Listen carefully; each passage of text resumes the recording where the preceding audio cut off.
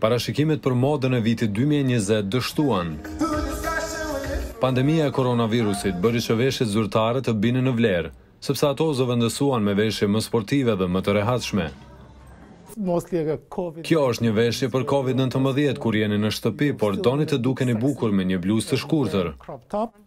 Marusia Kazakova, një stiliste ruso-amerikane dhe burri i saj Burkoindi, hapën galerinë e tyre Jahnkoy në Nju Jork në mes të pandemisë. Linja është një kombinim i folklorit rus dhe afrikan me veshjet sportive Puma. Ata kishin filluar me shitjet para pandemisë, por Covid i bëri shumë të njohura veshjet e tyre. How do you express yourself? Nëse dalim jashtë shtëpisë, duhet të jemi në gjendje të shprehemi. Të gjitha veshjet bartin mesazhe që tregojnë se kush jemi. Covid ka nxjerrë nga përdorimi veshjet dhe këpucët zyrtare.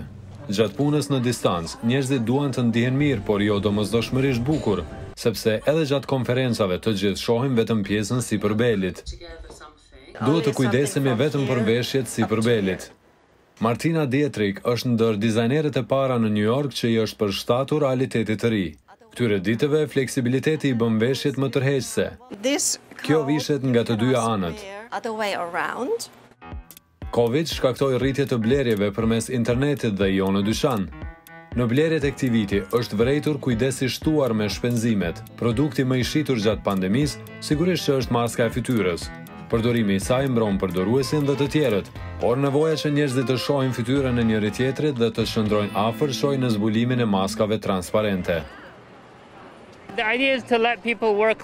Ideja është që njerëzit të qëndrojnë afër dhe të sigurt. Në vend të distancës fizike, njerëzit mund të qëndrojnë afër dhe të flasin pa mbuluar fytyrën. Të gjithë tani kanë maska, nuk mund t'u shohësh fytyrën, por nëse u shihni shprehjet e fytyrës, ndiheni më të çliruar.